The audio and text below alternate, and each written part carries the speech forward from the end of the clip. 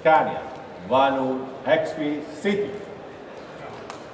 Scania has unveiled its new gas bus for use in city routes and bus rapid transport systems, the Scania Van Hool ExquiCity.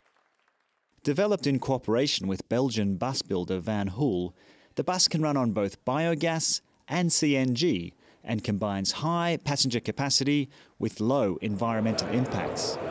What we see here today is not just a bus, an ordinary bus. What we see is what we call a tram-like bus or a tram bus.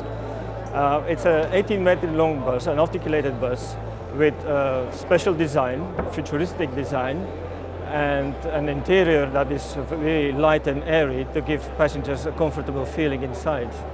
And that's what sets apart this bus from an ordinary bus, and we hope in that way to attract more people to the bus. Uh, choosing the bus instead of uh, their own car, I would say, is a combination of many things.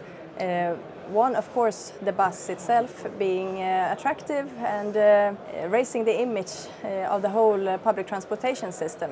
But there are also different parts outside of the bus, for example, having secluded lanes, which makes the average speed quite fast so people can move from point A to point B in a reasonable amount of time.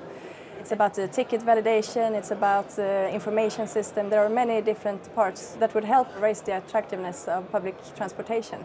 The release of the Scania Van Hool ExquiCity is a good example of how Scania is working to become the industry leader in sustainable transport solutions.